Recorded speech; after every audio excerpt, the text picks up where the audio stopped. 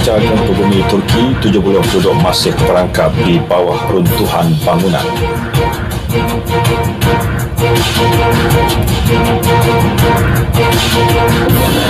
Bekas Presiden Korea Selatan jalani hukuman penjara hari ini kerana kes rasuah.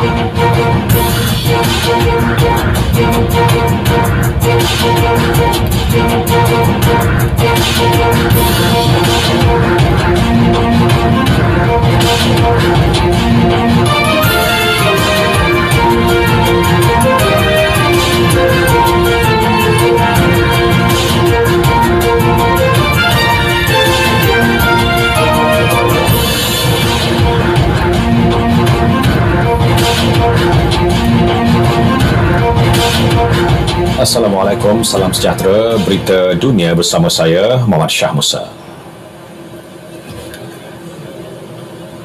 Universiti Kabul menjadi sasaran serangan pengganas menyebabkan 19 orang maut dan 22 lagi cedera. Militan Daesh yang menyerang sebuah pusat pendidikan di Kabul pada 2018 mengaku bertanggungjawab melancarkan serangan terbaru ini.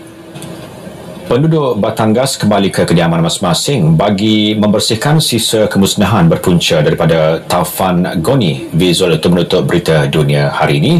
Amalkan mengimbas My Sejahtera di mana jua anda berada. Bersama-sama kita terus mengekang penularan COVID-19. Saya Muhammad Syah Musa. Assalamualaikum dan selamat malam.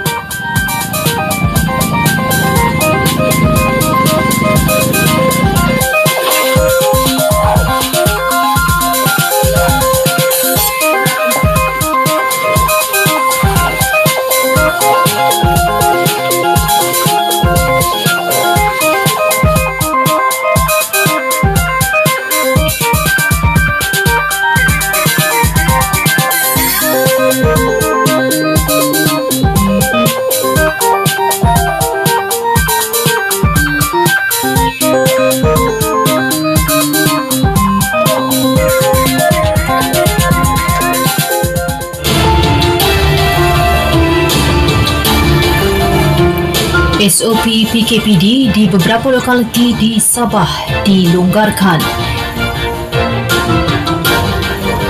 Suspek langgar kereta peronda polis di Johor Bahru ditahan. Semuanya dan banyak lagi dalam berita tengah malam seketika nanti.